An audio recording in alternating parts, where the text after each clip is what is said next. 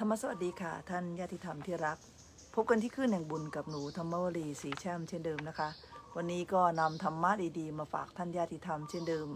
นักคลื่น พระพุทธศาสนาแห่งชาติประจำจังหวัดเลยวัดป่าจริยธรรม FM 96.50เมกะเฮิรต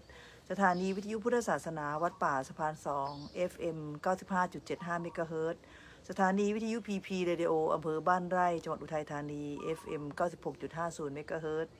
สถานีวิทยุเมจิกเวฟอำเภอหนองฉาง จังหวัดอุทัยธานี FM 107.50เมกะเฮิรตซ์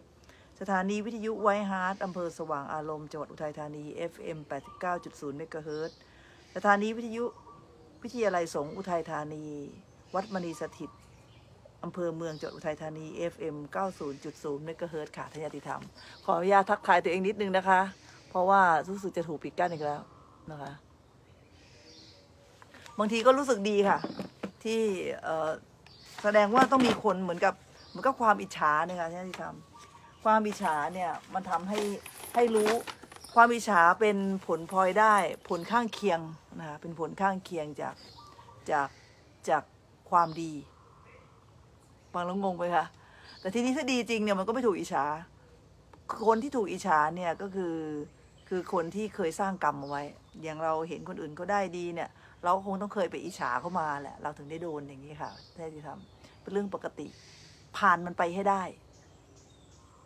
อย่าไปท้อ อย่าไปหยุด อย่าไปให้สิ่งต่างๆ เราเนี่ยเป็นตัวทำให้เราเนี่ย ไม่ได้เดินหน้าทำความดี คนไม่ดีสิ่งไม่ดีต่างๆ เนี่ยมันเป็นเพียงแค่บททดสอบใจของเราว่าเราจะเดินต่อไปได้หรือเปล่า สวัสดีค่ะ คุณดาเลศนะคะ ก็ วันนี้เพิ่งจะกลับมาดำเนินรายการเหมือนเดิม หายไปสองวันค่ะ จริง ๆ แล้วไม่ได้ตั้งใจจะหายเลยนะคะ แต่ว่ามันมีความจำเป็นจริง ๆ ที่จะต้องหายนะคือการเดินทางทั้งคู่เลย วันแรกเนี่ยเดินทางไปกราบครูบาอาจารย์ในเรื่องของเกี่ยวกับการเรียนปริญญาเอก ก็ มันระหว่างการเดินทางนัดท่านแปดโมงอะแปดโมงครึ่งมันมันเป็นไปไม่ได้ที่จะที่จะจัดรายการวิทยุเลย อันนั้นรู้ตัวล่วงหน้าละ ส่วนวันที่สองเนี่ยตั้งใจจะจัด แต่ปรากฏว่ามันมันตั้งแต่วันวันที่สองนะวันที่สองเนี่ยมันตั้งแต่เช้าเลยค่ะวิ่งยาวแบบทั้งวันเลย เช้าเนี่ยวันที่สองเนี่ยเดินทางไปที่ปทุมธานีก่อน แล้วก็พอเสร็จธุระจากปทุมธานีประมาณสิบโมงกว่า ก็เดินทางมาที่ที่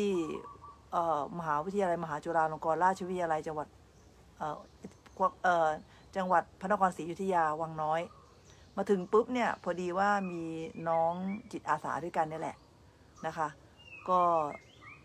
ทำวิทยานิพนธ์เกี่ยวกับเรื่องของจิตอาสาหน่วยแพทย์ แล้วก็เลยเห็นว่าเรามาร่วมกิจกรรมเนี่ย เราก็มีความแตกต่างในระดับหนึ่ง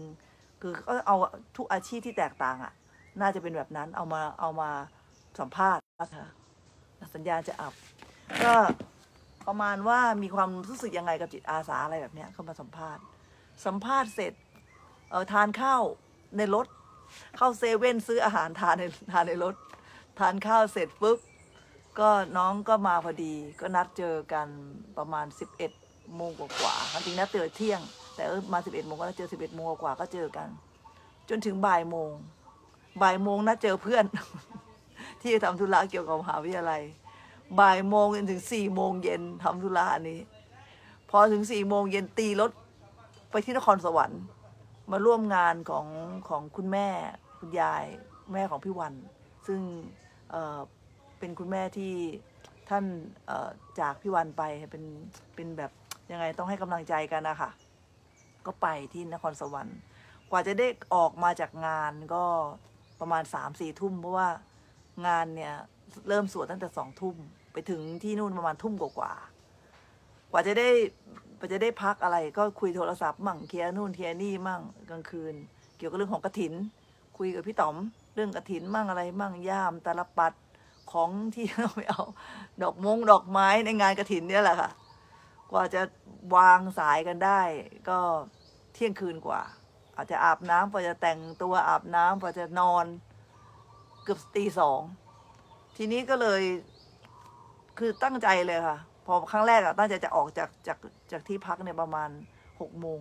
รู้สึกว่ามันไม่ค่อยไหวขอเซฟพลังงานให้กับตัวเองนิดนึง ก็เลยตื่นสายหน่อย แต่สายในที่นี้ก็ประมาณตีห้ากว่ามาตื่นสายประมาณตีห้ากว่าตื่น แล้วก็แต่งตัวเก็บของเก็บอะไรกว่าจะออกได้ก็ประมาณหกโมงกว่าเกือบเจ็ดโมงทางวัดโทรมาว่า เออว่า อาหารเพนที่วัดมีอะไรบ้าง เราก็เออไม่ได้เคลียร์ไว้ ก็เลยรีบตีรถกลับมาซื้อกับข้าว มาถึงก็ทำกับข้าวต่อเมื่อวานคือครั้งแรกว่าจะหยุดจัดรายการระหว่างทางแต่มันทำไม่ได้ เพราะว่าทางวัดเนี่ยคุยกับทางโยมไว้ว่าจะซื้อของเข้าไป ก็เลยตียาวเรียกว่าบุญแน่น ๆ นะคะ ต้องขออนุญาตส่งบุญให้กับท่านญาติธรรมทุก ๆ ท่านอีกหนึ่งบุญ แน่น ๆ เลยค่ะ แทบจะแบบว่า ไม่มีช่องว่างระหว่างการพัก แต่ถามว่าเเหนื่อยไหมเมื่อวานได้มีโอกาสคุยกับครูบาอาจารย์วันซืนเป็นครูบาอาจารย์ที่เคารพมาก ท่านสนับสนุนอยู่เบื้องหลังของการทำงานมาตลอด แทบจะบอกว่าตลอดชีวิต แล้วก็ไม่ค่อยมีใครที่จะรู้ด้วยว่าอาจารย์ธรรมวลีนี่มีครูบาอาจารย์อีกท่านหนึ่งที่สนับสนุนตัวเองเป็นอย่างดีมาตลอด แต่อยู่ในส่วนของฝ่ายวิชาการนะคะ อีกท่านหนึ่ง จะบอกว่าฝ่ายวิชาการเลยก็ไม่ใช่อะเอ่อท่านเป็นครูบาอาจารย์ที่รู้จักกันมาก่อนที่จะมีก่อนที่จะมาเรียนปริญญาตรีด้วยซ้ำแล้วก็ให้กำลังใจอะ รู้จักกันสนิทกันแบบครอบครัว ภายในครอบครัวคุ้นเคยกัน ท่านพระอาจารย์เจริญวัฒโนตอนนี้ท่านเป็นพวกครูประหลัดไปละนะคะแล้วก็ไปกราบท่าน โอ้โหพลังพลังกลับมาแบบว่า พลังกลับมาแบบว่าเกินร้อย คือท่านรู้ประวัติเราตลอดนะท่านรู้เรื่องราวของเรารู้ปัญหาของเราปัญหาของเราที่คนอื่นไม่รู้ท่านก็รู้ คือท่านทราบประวัติเรามาตลอด เพราะเรามีอะไรเราก็ปรึกษาท่าน พอเรากลับไปหาท่านคราวเนี้ยเราก็เติบโตขึ้นในระดับหนึ่งอะของการทำงานของประสบการณ์ เราก็เติบโตขึ้นมาพอเราเติบโตขึ้นมาเราไปเจอท่านเนี่ย ท่านให้โอวาทท่านให้คำแนะนำเกี่ยวกับการทำงานของเราเกี่ยวกับหลายๆอย่างเนี่ย ฟังแล้วมันก็ทำให้เรารู้สึกมีพลังขึ้นมา การที่ได้ไปกราบครูบาอาจารย์เนี่ย มันก็ได้ได้พลังกลับมาเยอะพอสมควรนะคะมีปัญหาเรื่องของออการถ่ายทอดมากเลยค่ะ วันนี้ทั้งๆทที่โทรศัพท์เองก็จ่ายเงินตามปกตินะคะ แพ็กเกจแพงที่สุดด้วย นะแพ็กเกจของโทรศัพท์เนี่ยก็แพงที่สุดด้วยซ้ำนะคะเมื่อวานก็ต้องขอบคุณ AAS อยู่ดีๆ ค่าโทรศัพท์ขึ้นมาเป็นพันสี่นะคะแพ็กเกจที่ใช้อยู่พันหนึ่งที่ผ่านมามีปัญหาเรื่องการเติมเงินแล้วเงินหายในในระบบอะไรอย่างเงี้ยก็เลยใช้เป็นรายเดือน พอรายเดือนปุ๊บเนี่ยอยู่ดีๆ ก็มีมีพนักงานโทรเข้ามา บอกว่ามีโปรโมชั่นพิเศษให้ทดลองใช้หนึ่งเดือน ถ้าไม่สามารถไม่อยากจะใช้ทดลองแล้วก็สามารถยกเลิกได้อะไรเงี้ยอยู่ดีๆเงินก็ขึ้นมาอีกประมาณสามร้อยบวกมา เราก็เลยโทรศัพท์ไปหาที่ AS เลย บอกว่าถ้าโทรมาแบบเนี้ยแล้วถึงเวลาเนี่ยมาบอกให้ใช้ฟรีแล้วมาเสียเงินแบบเนี้ย ต่อไปนี้ AS ไม่ต้องโทรมาแนะนำอะไรเลย ไม่ต้องโทรมาแนะนำอะไรละเพราะว่าตัวเองไม่ได้ใช้อะไรอยู่แล้วไอ้พวกทีวีอะไรพวกเนี้ยหนังหนึ่งอะไรไม่เคยดู เพราะฉะนั้นไม่ต้องโทรมา ต่อไปนี้ยกเลิกการโทรศัพท์ของ AS ทุกรูปแบบที่จะโทรมาติดต่อขายอะไรทั้งสิ้นไม่เอาเขาก็เลยอุ้ยขอโทษค่ะเขาก็เลยลดไม่คิดเงินของเดือนที่แล้ว เหลือราคาปกตินะคะ วันนี้เป็นวันเตรียมงานเลยค่ะสำคัญแล้วแบบขมวดแล้วค่ะขมวดทุกอย่างแล้วก็ทั้งส่วนงานของกระถินที่กำลังจะเกิดขึ้น ในวันพรุ่งนี้ช่วงเย็นเริ่มต้นงานเนี่ยกระถินจริง ๆ เนี่ย เริ่มงานจริง ๆ คือหกโมงเย็นกิจกรรมของกระถินก็คือหกโมงเย็นรวมตัวกันทำวัดเย็นทำวัดเย็นร่วมกันอาจารย์ คือกิจกรรมวัดภูจวงเนี่ย เน้นที่หลักหลักหลักธรรมตามการปฏิบัติอะค่ะ ก่อนนะทำวัดต้องเป็นเวลาปกติ ปกติวัดหกโมงเย็นรวมตัวยังไงเนี่ย มีกิจกรรมยังไงก็หกโมงเย็นรวมตัวอย่างนั้น แต่ก็ไม่ได้บังคับทุกคนต้องลงมานะคะหกโมงเย็นรวมตัวทำวัดสองทุ่มสองทุ่มเนี่ยจะมีการลอยกระทงอะลอยกระทงไม่ใช่ลอยกระทงลอยกระทง จะมีการลอยกระทงกัน วัดเมื่อปีที่แล้วเนี่ยทำกระทงไว้ถึงหกร้อยใบอะหมดคำไม่พอ ก็แสดงว่าคนที่มาเนี่ยถึงหกร้อยคน กระทงหกร้อยใบ ก็หกโมงสองทุ่มเนี่ยก็จะที่ประลำของกระทงเนี่ยจะมีการถวายกระทงกับพระ แล้วก็พระเนี่ยก็จะนำอธิษฐานครูบาอาจารย์ท่านท่านเจ้าคณะอำเภอท่านพระอาจารย์มหาลำพันธ์บุญญามโน แล้วก็คณะสงฆ์น้องสมเณรวัดภูจวงแม่ชีเนี่ยพานำลอยกระทง แล้วก็ญาติโยมก็ลอยกัน เป็นบรรยากาศที่สงบมาก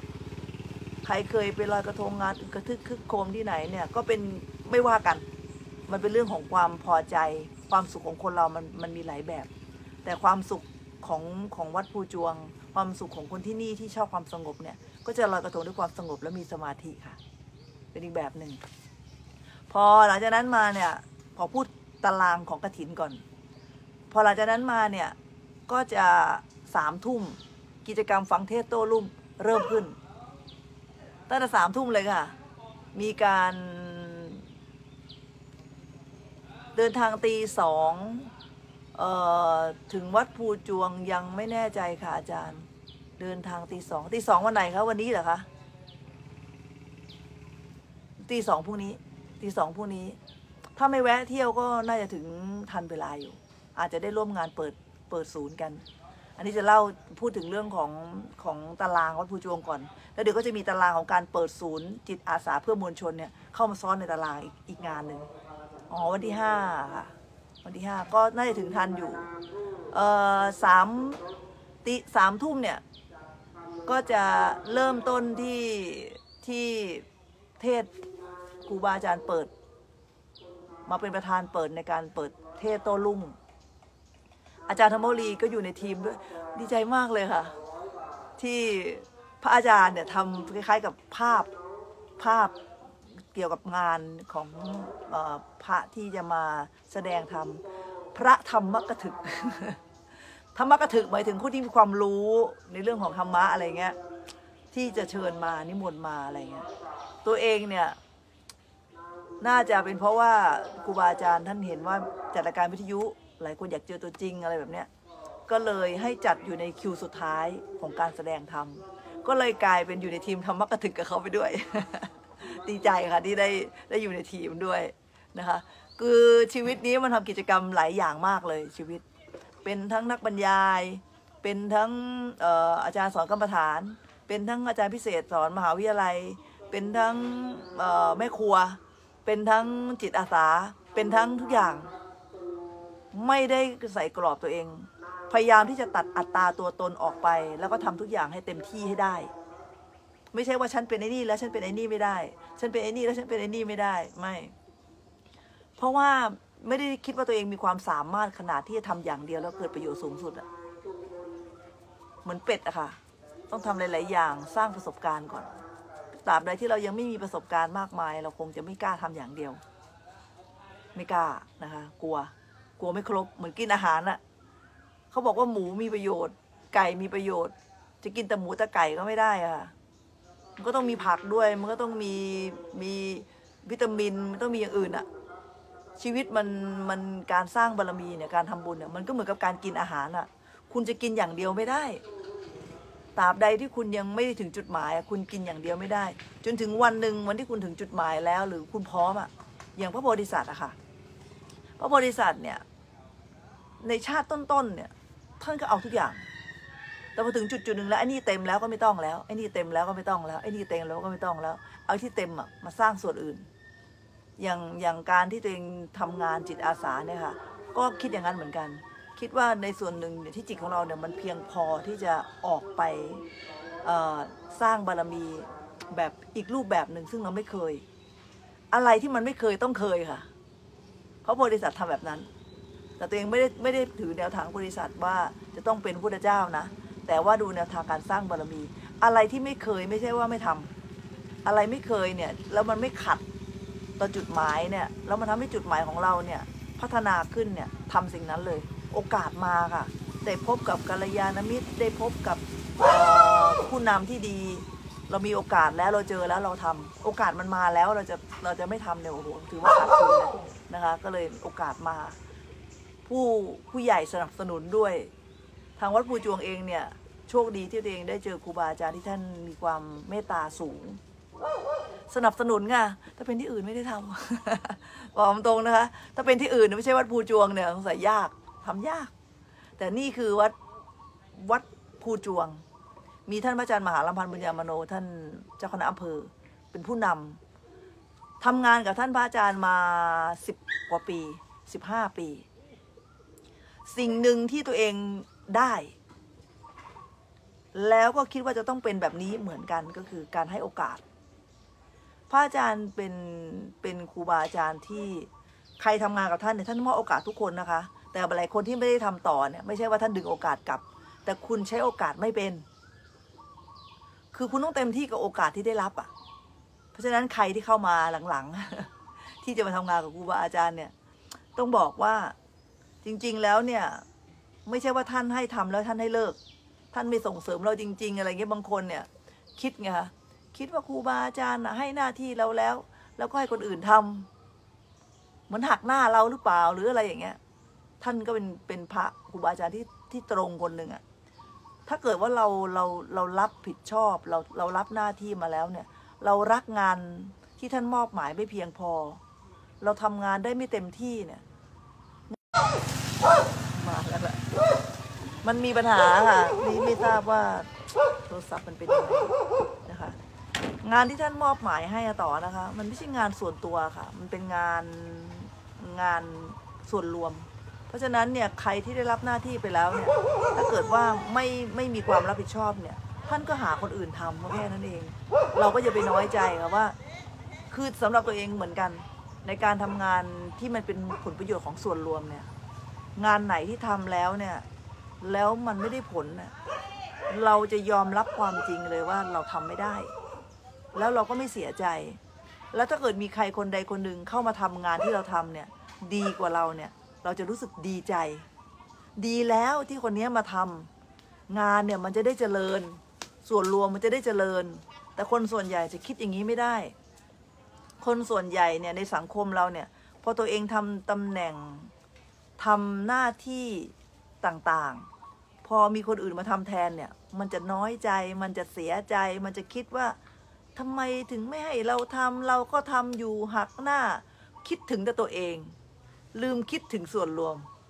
แต่ถ้าเราคิดถึงส่วนรวมแล้วเนี่ย เราจะไม่มีทางเสียใจอะไรเลย จิตที่มันคิดถึงส่วนรวมเนี่ย มันจะไม่มีทางเสียใจอะไรอะค่ะนะคะพอเราเราทำงานอะไรสมมติว่าครูบาอาจารย์มอบหน้าที่ให้กับอาจารย์ธรรมวรีเนี่ยทำ แล้วเราทำมันไม่ไม่ได้ เราก็รู้เองว่ามันออกมาไม่ดีอะ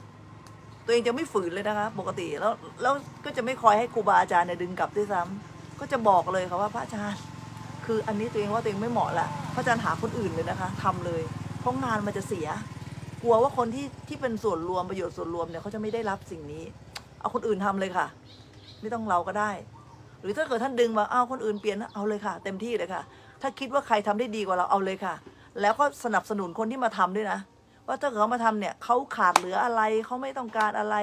เอามาเติมเต็มให้กับเขา ส่วนรวมจะได้ประโยชน์สูงสุด คิดแบบนั้น ต่อตารางของกระถินวัตถุจวงก่อน เดี๋ยวจะเลยนะเพราะว่าท่านญาติธรรมหลาย ๆ ท่านเนี่ยเตรียมตัวที่จะเดินทางมาร่วมกิจกรรมกัน เทศโต้รุ่งจนถึงหกโมงเช้าค่ะนะคะจนถึงหกโมงเช้าแล้วก็หลังจากนั้นเนี่ย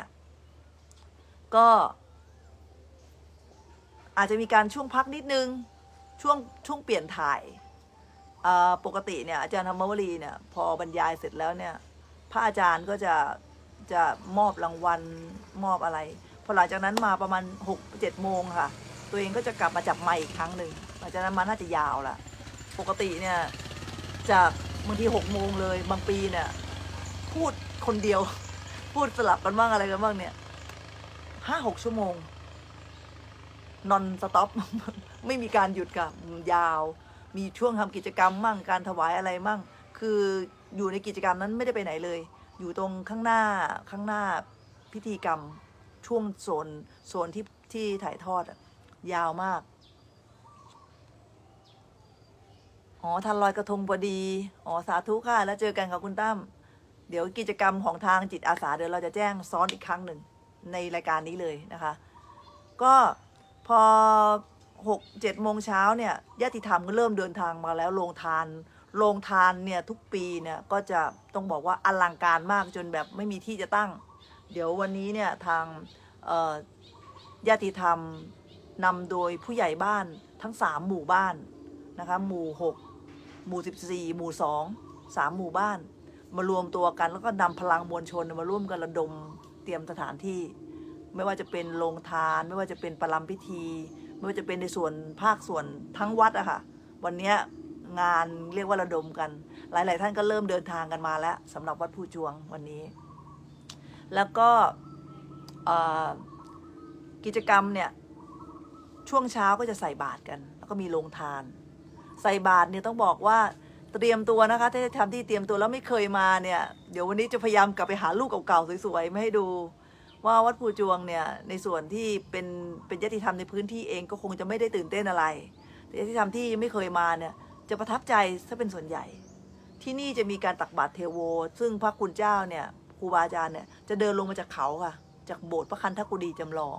ไปถ่ายรูปก่อนก็ได้ แต่งตัวสวยๆถ่ายรูปก่อนแล้วก็ลงมาพระเนี่ยจะรวมตัวกันที่นั่น แล้วก็เดินลงมาจะมีเทวดาค่ะ ได้ใส่บาตรเทวดาด้วยนะเทวดาวัดภูจวงค่ะจะ จะรับตำแหน่งนี้ปีละครั้งเท่านั้น เทวดาจะดำรงตำแหน่งเทวดาปีละหนึ่งครั้ง จะมีเทวดามีนางฟ้าน้อยๆจากที่พระเดินบิณฑบาตแล้วเนี่ย เราก็ใส่บาตรเทวดาใส่บาตรนางฟ้ากันต่อ นางฟ้าของเราเนี่ยที่ละนางฟ้าของวัดภูจวงเนี่ยก็จะใส่ขนมใส่ใส่ท็อฟฟี่อะไรเงี้ยอ๋อ สวัสดีค่ะลุงน้อย ของลุงน้อยก็หมู่สิบสี่เหมือนกัน คนละตำบลนะท่านผู้ใหญ่บ้านค่ะผมไม่ได้เจอลุงน้อยเลยผู้เจอลุงน้อยแล้วนึกขึ้นได้กระถิน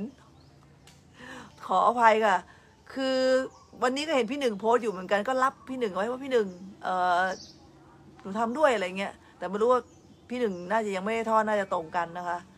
ต้องขออภัยลุงน้อยรับลุงน้อยไว้กองหนึ่งหนึ่งพันบาท ของลุงน้อยทอดไปได้ยังคะเนี่ยนะคะ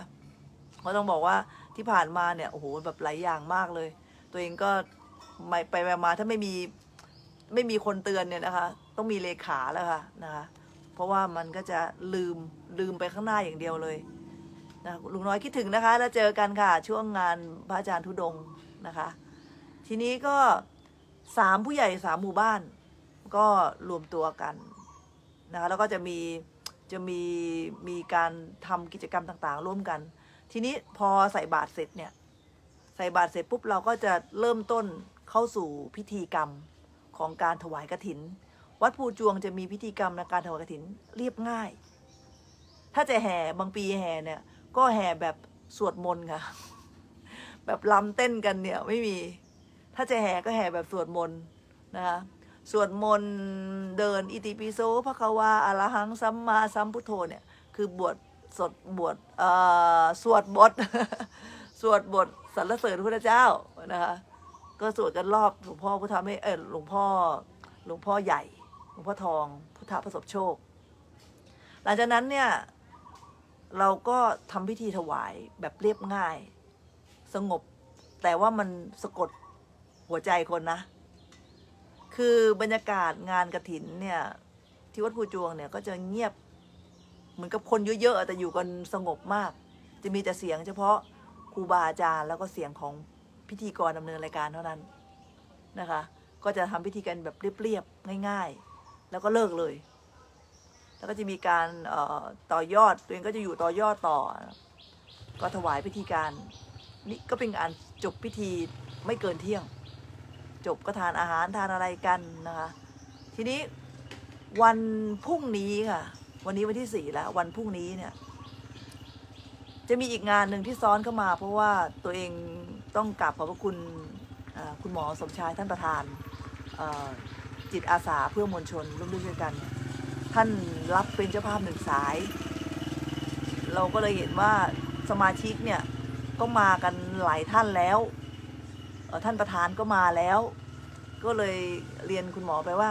คุณหมอครับเป็นไปได้ไหมที่เราเนี่ยจะเปิดศูนย์เลย เพื่อที่ การรวมตัวหรือระดมคนที่จะมาพร้อมๆกันแบบนี้มันมันยาก ถ้าเราเราเปิดศูนย์เลยเนี่ยมันก็จะทำสองอย่างให้จบในวันเดียว ในในครั้งเดียวที่เดินทางมา คุณหมอก็รับรับทราบแล้วก็เอ่อตกลงว่าจะเปิดศูนย์ของเรา พิธีการเปิดศูนย์ของเราเนี่ยถามว่าทำไมต้องเปิดด้วย เปิดเพื่อให้ให้ให้ให้ผู้ที่เกี่ยวข้องกับเราเนี่ยทราบเป็นทางการว่าตรงเนี้ย มีศูนย์เกิดขึ้นแล้ว แล้วก็เป็นเป็นการยอมรับ เป็นการเปิดขึ้นจริง ไม่ได้ศูนย์เถื่อนนะ มีท่านประธานเนี่ยมาเปิดให้ เราก็อยากจะเปิดเหมือนกับไม่ได้มีพิธีกรรมอะไรมากมาย แต่ไปๆมาก็เริ่มเยอะแล้วค่ะพิธีกรรม ครั้งแรกก็ว่าแต่ให้คุณหมอตัดริบบิ้นเนี่ยพอแล้วกล่าวรายงาน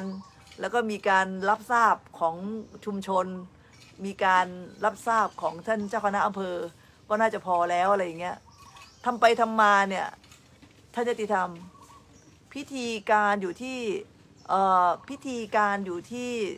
ศาลากรรมฐานใจดีค่ะ ตลอดเลย ตั้งแต่เทศเทศโต้รุ่งตั้งแต่ตั้งแต่ทำวัดเย็นเลย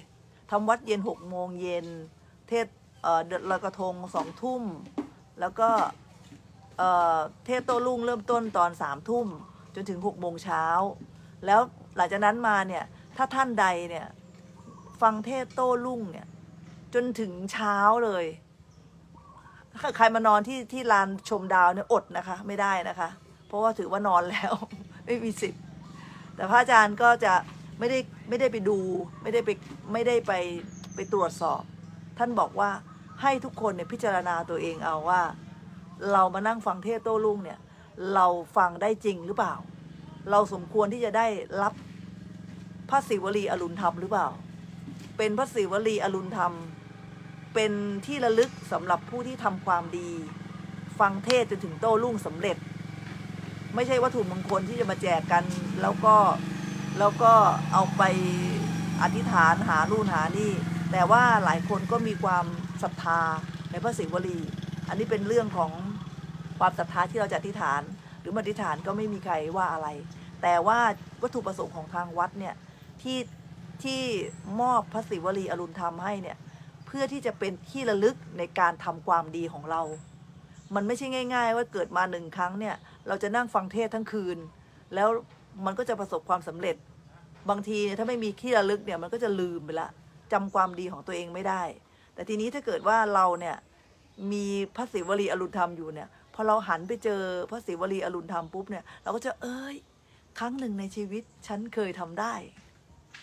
มันจะภูมิใจ เหมือนกับตอนที่ที่ไปที่ประเทศนอร์เวย์อะค่ะ ตอนที่ไปที่ประเทศนอร์เวย์เนี่ย ก็พระอาจารย์ก็จัด ก็มีตะคนบอกว่า อุ้ยจัดได้ยังไง ใครจะมานั่งฟังเทศถึงเช้า แล้วยิ่งต่างประเทศมันหนาวด้วยนะคะที่ไปมันหนาวกลางคืนเนี่ย บรรยากาศในการดูฟังเทศโต้รุ่งเนี่ยโหยากมาก ตัวเองเนี่ยจำได้ว่าที่ที่พระอาจารย์จัดเนี่ยคือที่วัดพุทธแดนธรรมที่เกวีนเนตดานโอ้โหที่นั่นเนี่ย บ้านอะไอตัวอาคารที่เป็นเป็นเป็นวัดเนี่ย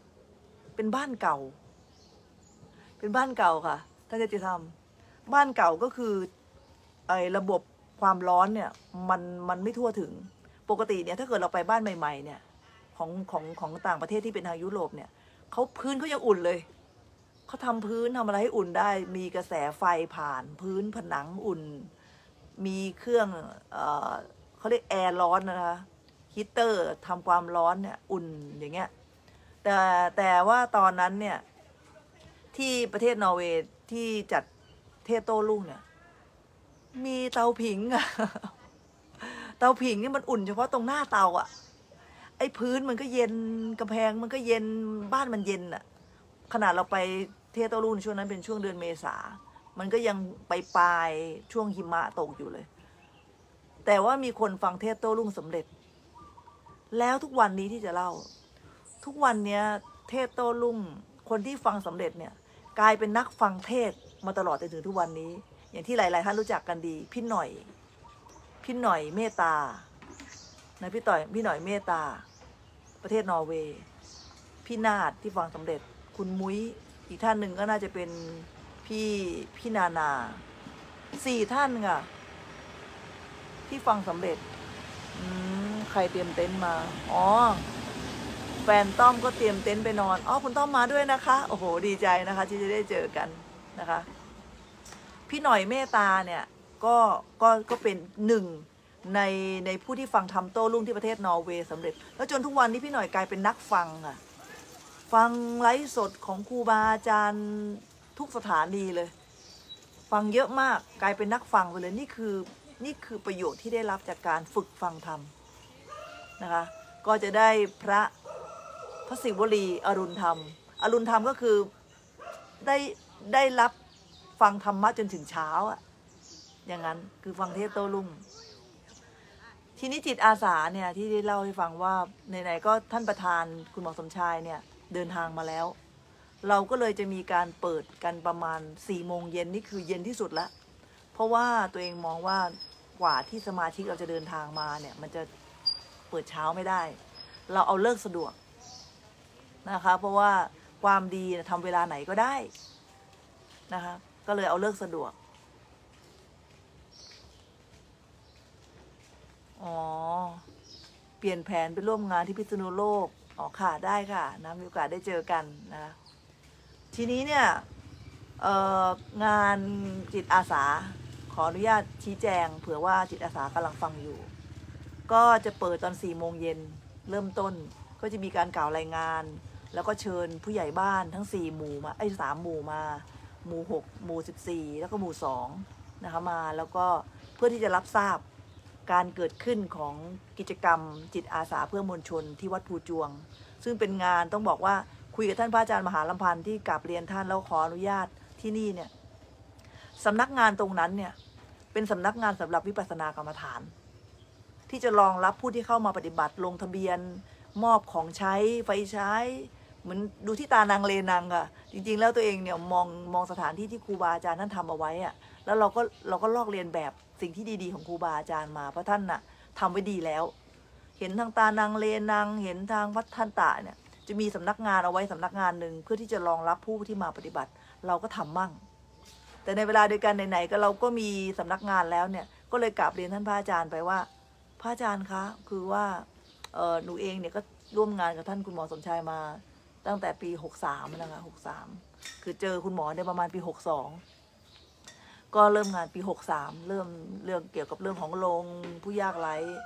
ต่างๆนะคะน่าจะประมาณปีหกสองไปปลายนะเริ่มเริ่มทำโรงศพนะคะ ทีนี้เนี่ย พอพอเริ่มงานเนี่ย งานของเราเนี่ยก็จะมีผู้ใหญ่บ้านน่ะทั้งสามหมู่มารับทราบ เกี่ยวกับกิจกรรมของเราที่เราทำพอเราทำกิจกรรมตรงนี้ปุ๊บเนี่ยเออก็ท่านพระอาจารย์ก็ก็กราบเรียนท่านพระอาจารย์ว่าพระอาจารย์ พระอาจารย์จะตัดริบบิ้นพร้อมกับคุณหมอหรือเปล่าคืออันนี้พี่อ้นแนะนำมาวิสาธิตรองประธานศูนย์ที่นครสวรรค์ พระอาจารย์บอกมันจะไม่ใช่มั้งพระตัดริบบิ้นเนี่ยพระอาจารย์บอก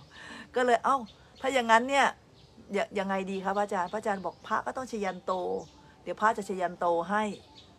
ท่านพระอาจารย์เนี่ยจะเป็นประธานในการชยันโตให้ แล้วก็คุณหมอก็จะตัดริบบิ้น ถือว่าศูนย์ของเราเปิดครบวงจรเรียบร้อยแล้วนะคะ ประมาณนี้ ก็เลยแล้วก็จะมีขอเชิญท่านญาติธรรมที่เป็น ชาวบ้านที่บ้านภูจงทับคล้ายถ้ามีเวลาในวันนั้นมาร่วมกันเป็นสักขีพยาน ในการร่วมกันเปิดศูนย์ของเรา ทีนี้เนี่ยศูนย์ของเราเนี่ยเปิดเพื่ออะไร คือชื่อก็บอกแล้วว่าศูนย์ประสานงานค่ะเปิดเพื่อที่จะประสานงานที่เป็นความดีก็ช่วยเหลือ ใครมีเรื่องเดือดร้อนในเรื่องของเอออย่างเช่นของเราเนี่ยอยู่ใกล้ป่าใกล้เขามีภัยพิบัติเนี่ย คุณหมอเองเนี่ยก็ทำงานช่วยเหลือคนคนสาขาของเราในสูนย์ของเราเนี่ยสมาชิกของเราเนี่ยมีเกือบทั่วประเทศ คือมันสามารถที่จะประสานงานแล้วก็ช่วยเหลือได้ แล้วก็ถ้าของเราเนี่ยมีปัญหาอะไร เราก็สามารถที่จะช่วยเหลือกันได้ หรือว่าทางอื่นมีปัญหาอะไรเราก็สามารถที่จะรวมตัวกันไปช่วยเหลือทางอื่นได้ ก็ได้รับความสะดวกสบายหมดเพราะเรามีเรามีศูนย์ของเราอยู่ทั่วไป ก็เป็นประโยชน์ในเรื่องของการช่วยเหลือผู้ยากไร้ภัยพิบัติต่างๆนะคะลงศพ แล้วก็เรื่องของการรักษาโรคอะไรเงี้ยก็จะมีมีกิจกรรมสำหรับผู้ยากไร้นะคะคนดีเป็นศูนย์รวมก็ต้องบอกว่าจิตอาสาเพื่อมวลชนเนี่ยคือคือกลุ่มกิจกรรมที่นำคนดีที่ต้องการช่วยเหลือคน กับคนที่เลำบากยากไร้ต้องได้รับความช่วยเหลือมาเจอกัน เราเอาคนดีกับคนกับคนที่ลำบากมาเจอกันนะคะ สรุปเปิดศูนย์เวลาสี่โมงเย็นรวมถ่ายรูปอ๋อค่ะ ยังพื้นยังไม่ถึงค่ะกำลังกำลังสรุปงานอยู่กับซ้อนกับตารางของตารางของของกระถินค่ะพี่อ้น ช่วงติสี่โมงเย็นเนี่ยยังไม่เปิดงานกระถิน แต่เราเปิดศูนย์ก่อน นะคะรวมตัวกันขอเชิญผู้ที่อยู่ในบริเวณนี้หรือว่าญาติธรรมที่จะเดินทางมาอยู่แล้ว เดินทางมาเร็วกว่านี้อีกนิดนึงมาร่วมกันเปิดศูนย์ของเรานะคะแล้วก็หลังจากนั้นเนี่ยก็จะหกโมงเย็นทางวัดเนี่ยก็จะมีการทำวัด เราก็ทำโรงทานค่ะนะทางศูนย์ของเราสมาชิกเราก็ทำโรงทานกันปิ้งลูกชิ้นทำก๋วยเตี๋ยวอะไรอย่างเงี้ยทำโรงทานกัน ก็มีคุณฟางค่ะบงกฎ เป็นเจ้าภาพหลักก๋วยเตี๋ยวให้ มีมีพี่นาฏจากประเทศนอร์เวย์เป็นเจ้าภาพลูกชิ้นให้ แล้วก็มีพี่ทิมชติกานะคะ ส่วนที่รักสนับสนุนลูกชิ้นอีกค่ะ ของก๋วยเตี๋ยว 10 กิโลแล้วก็ของของเอ่อของ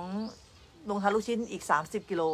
พี่ทิมนะคะ คุยกันเมื่อคืนพี่ทิมก็เลยช่วยมาอีกนะคะ ก็น่าจะเป็นไปประมาณนี้ก็เป็นเจ้าภาพหลักอีกท่านเลยที่ซ้ำในการทำโรงทานของ ของจิตอาสา แล้วก็ประมาณสองทุ่ม พวกเราเนี่ยจะถวายกระทงให้กับท่านพระอาจารย์มหาลำพันธ์บุญญามโนท่านประธานวัดประธานประธานงานกระถินแล้วก็เป็นเป็นเอ่อเป็นท่านเจ้าคณะอำเภอเนี่ยลอยกระทง แล้วก็น้องสามเณรพระคุณเจ้าเนี่ยแม่ชีก็จะลอยกระทงด้วย แล้วก็ท่านประธานคุณหมอสมชายก็ร่วมลอยกระทงกับสมาชิกของเรา ก็จะร่วมตัวร่วมร่วมกันลอยกระทงพร้อมกันเช่นเดียวกันรวมกับญาติธรรม เมื่อลอยกระทงเสร็จแล้วเนี่ยสองทุ่มครึ่ง เราจะมารวมตัวกันอีกครั้งหนึ่งที่ศูนย์บริเวณสำนักงาน เราจะถ่ายรูปหมู่กันอีกครั้งหนึ่งเป็นอันเจ็ดเจ็ดพิธีจริง ๆ เพราะว่าจะมีสมาชิกบางส่วนที่ที่เดินทางมา ที่เดินทางมาไม่ทัน อย่างคุณตั้มเนี่ยบอกว่าจะมาถึงประมาณสองทุ่มอย่างเงี้ย น้องเมย์เดินทางมาต้องเลิกงานก่อน อันนี้เราเข้าใจกัน หลาย ๆ ท่านก็มาไม่ทัน เราก็เปิดกันเปิดกันก็ต้องขอขอบคุณพี่อ้นนะคะรองประธานศูนย์ นครสวรรค์พี่วันประธานศูนย์นครสวรรค์ก็จะมา ก็จะมีน่าจะเป็นสายของนครสวรรค์กับอุทัยธานีที่จะอยู่เปิดแล้วก็มีท่านประธาน คือคุณหมอสมชายนะคะเป็นประธานในการเปิด แล้วก็มีผู้ใหญ่บ้านมีท่านเจ้าคณะอำเภอ เราก็ไม่ได้ ต้องบอกว่าไม่ได้เชิญผู้ใหญ่ในส่วนอื่น เพราะเรามองว่าเราจะโตไปจากเล็กๆ ด้วยกันก่อน เราเราให้ความสำคัญกับกับพวกเรากันเองก่อน ในการทำความเข้าใจในการรู้จักกันในการทำงาน เดี๋ยวมันโตเองค่ะนะคะไม่ต้องรีบโตนะคะก็เลยคิดว่าเราเชิญของพวกเรากันเองนี่แหละ มาเปิดนะคะแล้วก็เราก็จะอยู่ด้วยกันอย่างอบอุ่น ฐานที่อบอุ่นมันเติบโตอยู่แล้วนะคะมันอาจจะทำประโยชน์ให้กับส่วนรวมได้มากมายคิดอย่างนั้นนะคะ ก็ขอบคุณทุกๆ ภาคส่วน น้องจูน เดี๋ยวน้องจูนก็จะมาทำดอกไม้ให้ไม่ทราบว่ามาวันนี้หรือมาพรุ่งนี้ น่าจะเป็นพรุ่งนี้นะคะ ทันหรือเปล่าไม่ทราบมาพรุ่งนี้ น้องจูนจะมาทำดอกไม้ให้ ทั้งในส่วนของประลำพิธี แล้วก็ในส่วนของจิตอาสานะน้องจูนก็เป็นหนึ่งในจิตอาสาของเราเหมือนกันนะคะ ที่ที่ร่วมกิจกรรมเป็นช่วงๆ เพราะก็ยังทำงานอยู่นะคะ ก็ทำกิจกรรมร่วมด้วยตลอดเวลาไม่ได้แบบนั้น อันนี้เป็นรายละเอียดของการทำงานในวันที่ห้าที่หก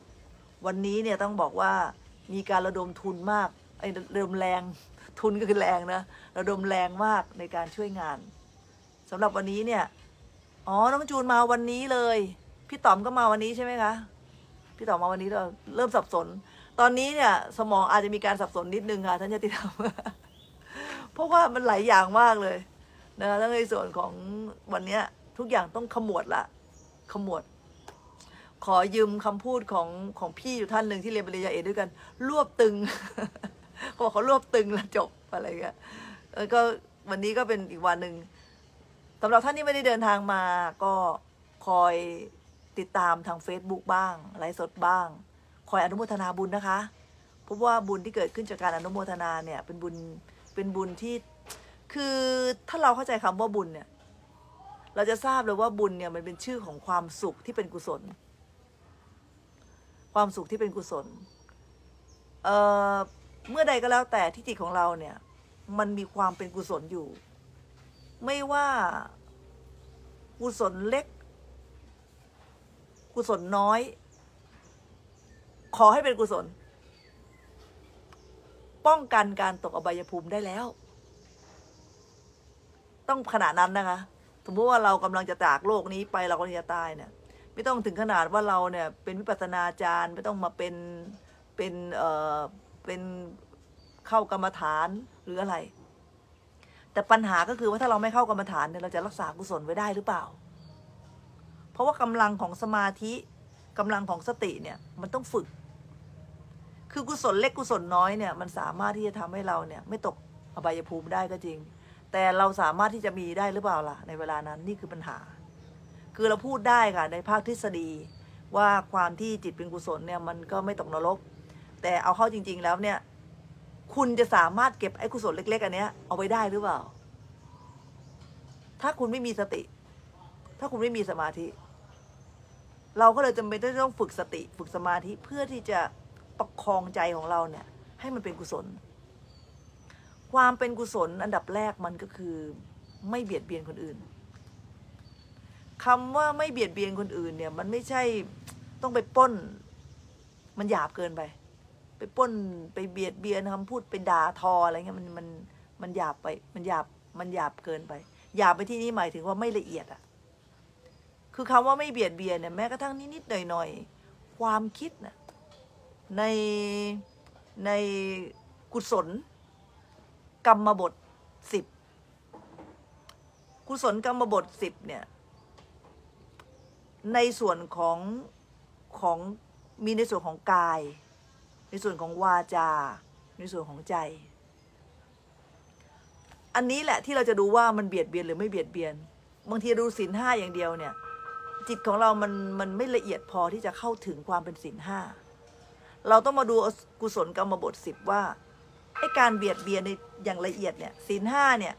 มันเบียดเบียนแล้วมันตกนรก ถ้ามันเบียดเบียนเนี่ยจิตเนี่ย ถ้ามันมันบีบเบียดเบียนระดับนั้นแล้วเนี่ยกำลังของอกุศลมันแรงมาก มันตกนรกแน่นอนอยู่แล้ว แต่ทีนี้เนี่ย การเบียดเบียนที่ละเอียดลงไปอีก เบียดเบียนแต่ไม่ตกนรก แต่ว่าถ้าเราประมาท กำลังของอกุศลเนี่ยมันมีกำลังมากขึ้น อนาคตคุณก็ต้องเบียดเบียนคนอื่น ในดาวของสินห้าอยู่ดี ในอกุศลกรรมบทสิบเนี่ยในส่วนของกายเนี่ยมีอยู่สามคือหนึ่งหนึ่งฆ่าสัตว์สองลักทรัพย์สามประพฤติผิดในกามสามข้อเนี้ยเป็น เป็นอกุศลกรรมบทสิบที่อยู่ในศีลห้าด้วย แล้วก็อยู่ในอกุศลกรรมบทสิบด้วย ต้องแยกดีๆนะคะ ระหว่างศีลห้ากับอกุศลกรรมบทสิบกับกุศลกรรมบทสิบอกุศลก็คือสิ่งที่มันเป็นสิ่งไม่ดีมีสิบอย่าง ส่วนกุศลก็คือสิ่งที่มันดีสิบอย่าง ถ้าเกิดว่าเป็นกุศลกรรมบทก็คือไม่ฆ่าสัตว์ ไม่ลักทรัพย์ ไม่ประพฤติผิดในกาม อันนี้เป็นเป็นกุศล ถ้าเป็นอกุศลก็คือฆ่าสัตว์ลักทรัพย์ประพฤติผิดในกามส่วนของกาย อันนี้อยู่ในศีลห้าด้วย จะให้ดูความแตกต่างกันระหว่างศีลห้ากับกุศลกรรมบท ทีนี้พอมาส่วนของของวาจา ในในส่วนของวาจาเนี่ย มีเพอร์เจอร์คำพูดเนี่ยมีทั้งหมดอยู่สี่อย่างที่เป็นอกุศล เป็น เป็นอกุศลกรรมบถหนึ่งเพอร์เจอร์พูดทั้งวัน พูดไม่มีสาเหตุ พูดไม่มีสาระอะไรเงี้ยเห็นอะไรก็พูดไปหมด ขาดสติอะพอตาเห็นอะไรปากก็พูด ใจคิดอะไรปากก็พูด พูดแล้วไม่ได้สนใจว่าพูดแล้วมันจะคนอื่นจะอยากจะฟังไหมคนอื่นจะลำคาญไหมคนอื่นฟังแล้วจะเกิด ความคิดไม่ดีคนอื่นฟังแล้วไม่สบายใจอะไร คนที่พูดไร้สาระเนี่ย จะไม่เคยคำนึงถึงสิ่งที่ตัวเองพูด พูดไปเรื่อยเฉยขาดสติอะมันก็เลยกลายเป็นกรรม เป็นวจีกรรมที่เป็นอกุศล ไม่คิด คือเมื่อก่อนตัวเองไม่เข้าใจนะ อะไรพูดเพ้อเจ้อก็บาปเหรอแต่พอเรามาเรียนพระอภิธรรมเนี่ยอกุศลเนี่ย อกุศลละมูลเนี่ยมีอยู่สามอย่าง คือหนึ่งโมหะสองโลภะสามโทสะอกุศลละมูลเนี่ยมีอยู่สามอย่าง การพูดที่เป็นความเพ้อเจ้อเนี่ย มันเกิดขึ้นจากจิตที่เป็นโมหะ มันขาดสติ ไอ้ตัวโมหะเนี่ยแหละค่ะ คืออกุศล ไม่ใช่ตัวคำพูดที่เพ้อเจ้อ ไอ้คำพูดเพ้อเจ้อเนี่ยมันอาจจะยังไม่ทำร้ายใครอะแต่ไอตัวโมหะเนี่ยทำร้ายใจเราแล้ว ใจของเรามันไม่มีสติ มันเข้าใจยาก แต่มันต้องทำความเข้าใจ ทีนี้คำพูดที่ที่สอง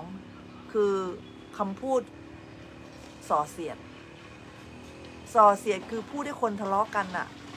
คนแบบนี้เนี่ยทำลายองค์กรมาก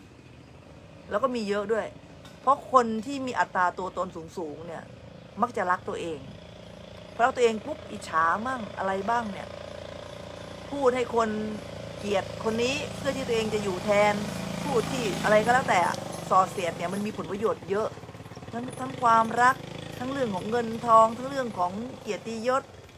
โลกธรรมทั้งแปดอะในส่วนของอิทธาลมเนี่ยสุขสรรเสริญเอ่อลาบยศสี่อย่างเนี้ย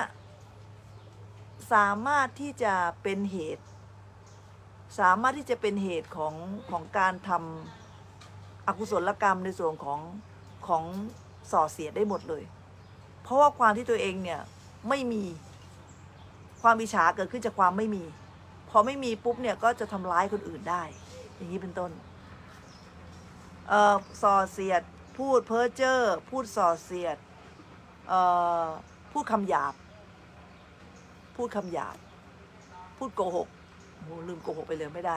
พูดคำหยาบคำหยาบเกิดขึ้นจากจิตที่เป็นอกุศลในส่วนของโทสะคนที่พูดคำหยาบเนี่ยคือคนที่มีโทสะแต่ทีนี้เนี่ยคนกลุ่มเนี้ยมักจะไม่ค่อยรู้ตัว พูดคำหยาบพูดเสียง พูดไม่มีน้ำเสียงที่ดีอะเขาก็จะบอกเขาเป็นคนตรง คนกลุ่มเนี้ยแต่ความจริงเนี่ยคนที่เป็นคนตรงเนี่ยไม่จำเป็นที่จะต้องพูดเสียงกระโชกโคกห้าไม่จำเป็นที่จะต้องเป็นคนก้าวร้าว คนตรงอ่อนหวานก็ได้ คนตรงมีปัญญาอ่อนหวานได้ ตรงกับความจริงตรงกับเรื่อง ตรงกับธรรมะ